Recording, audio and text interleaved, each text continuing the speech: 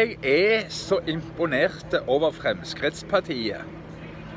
Det partiet som lovte at eh, bare de kom i en eh, regjering De trengte ikke ha flertall. Så skulle de fjerne alle bomstasjonene i Norge.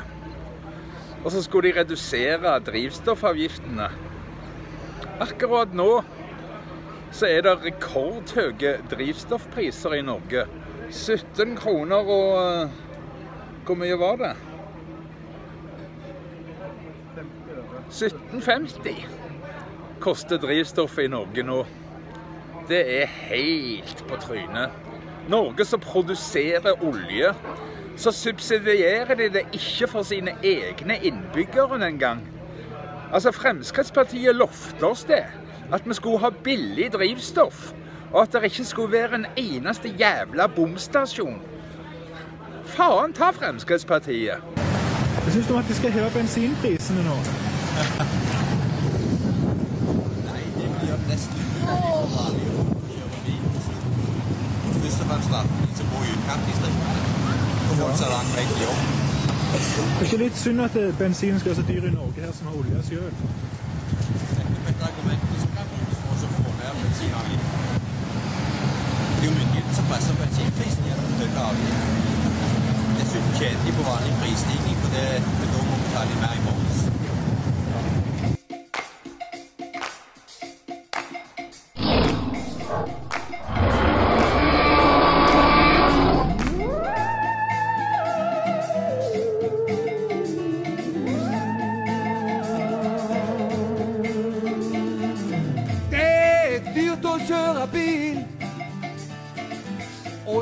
Og skal det bli.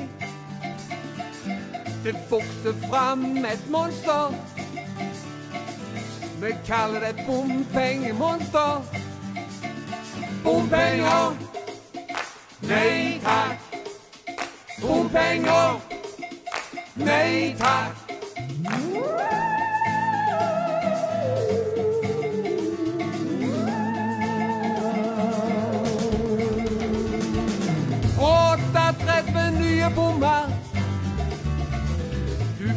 En ekstra utgift. Hvem er det du har stemt på? Så lag et bompengemonster. Bompenger, nei takk. Bompenger, nei takk.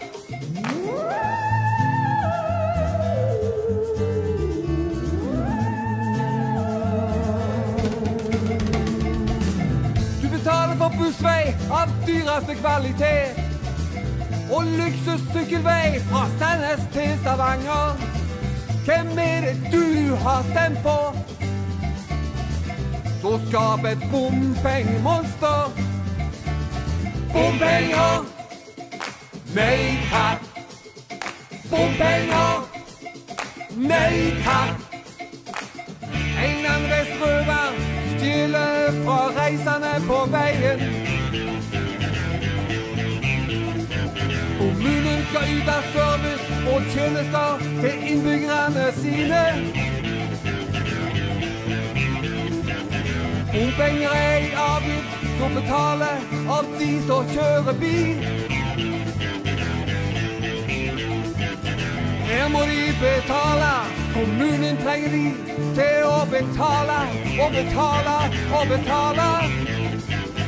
Bompenger, nei takk. Bompenger, nei takk.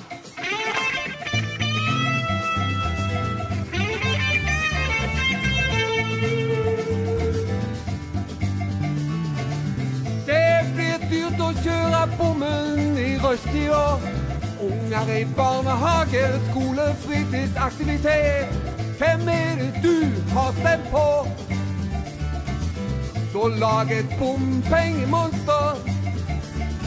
Bompenger, nei takk. Bompenger, nei takk.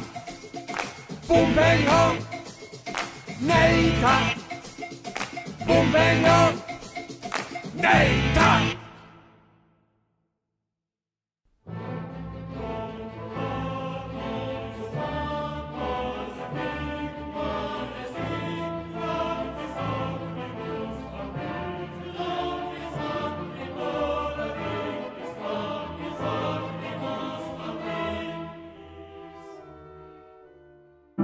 takk. Bompenger,